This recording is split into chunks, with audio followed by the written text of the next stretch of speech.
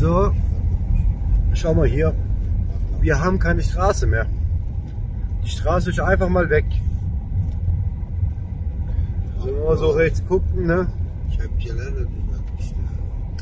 Die Straße wurde notgeflickt. Es gibt keine Alternative. Ja, also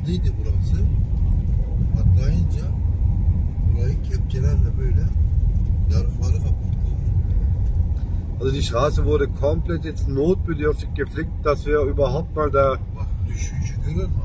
weiterfahren können. Çökmüş. Hammer.